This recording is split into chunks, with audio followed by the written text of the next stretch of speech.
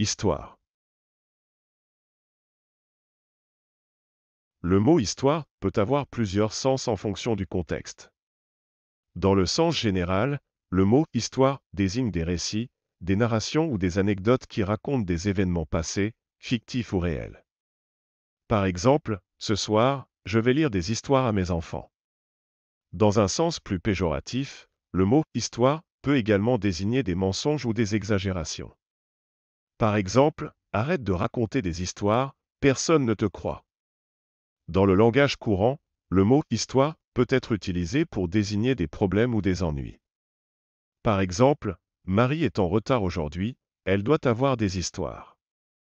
Enfin, le mot histoire est également utilisé dans certaines expressions, telles que se faire des histoires, imaginer des scénarios ou des éventualités qui ne sont pas vraies, ou avoir une histoire d'amour, avoir une relation amoureuse.